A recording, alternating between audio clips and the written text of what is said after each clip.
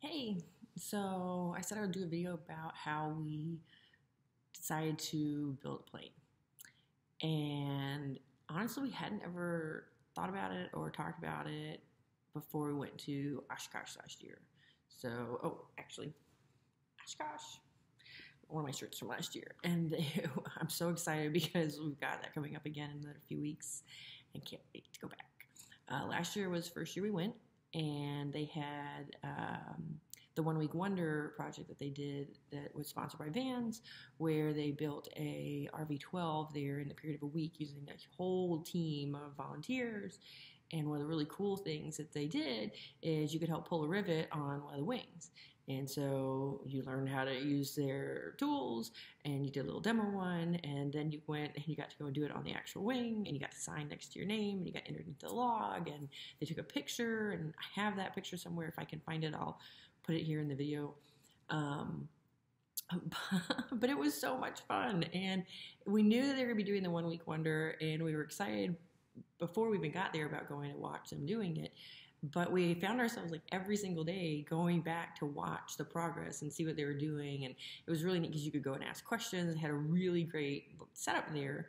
But both of us suddenly, after watching it and and seeing everything, and then also as we got to go to some of the other free workshops that they had there at Oshkosh, um, we really started kind of excited and started talking about maybe we want to build a plane. Like maybe that would be kind of fun. Can we do that? Do you think we could do that? You know, and really starting to have those conversations about actually building it. And so, you know, we got back from Oshkosh and you know, we kind of were like toying with the idea. Um, but we were looking at maybe buying a plane still instead of um, building one. And and then it's just like it slowly started to kind of keep coming up. And then we started kind of watching a few more videos and doing a little bit more research and joining some different forums, trying to figure out, you know, about other people and their experience. And the more we started watching and everything, we're like, okay, I think we can do this. You know, we can. And we started checking out the prices and everything, and um, you know, it was just finally got to one point where we're like, let's let's just do this. let's just do this. Okay, let's do it. Just buy it. Buy the buy the buy the emp kit and everything. And so we did. So we went and um, we'd figured out that we wanted to get the vans. We wanted to get the RV10 uh, just for the extra space and everything in the plane. And so you know after doing a lot of research, and Tyler had called and, and gotten some more um, estimates and information about like the shipping and how that works. And we we just did it. We are like, let's just just do it. Let's just do it. So we bought the we bought the emp kit, and we went and got all the tools, all the tools, so many tools.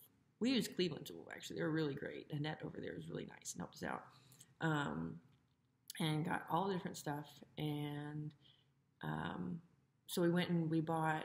We actually bought two of the little um, kits from Vans uh, where you can kind of learn how to use everything and it helps just make sure that you i think really understand how to use all the different tools and how to read through all their directions and that i think also so you can really understand they have really great instructions on um, how to do some of the different tasks that are involved.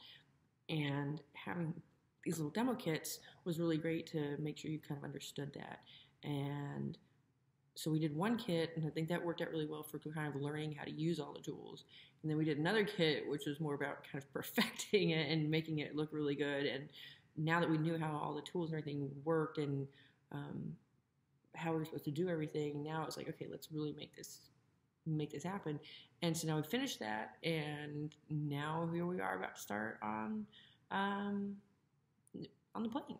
So, well, I mean, getting you know we're already getting started on the plane. So uh, it's pretty exciting and, and everything. So this wasn't like, I mean, it's taken some time because now we're about a year out from Oshkosh, but uh, EAA Vans, this is for y'all. Your little one week wonder project, so it really kicked all this off for us, and getting the chance to go and and really watch all of it getting put together, and and the little free workshop. So we got to go and attend there uh, they were really really cool. So we're excited. We're going to do one of the paid workshops out there uh, at Oshkosh this year to see what other great tips and tricks we might be able to learn uh, for helping us to build our plane.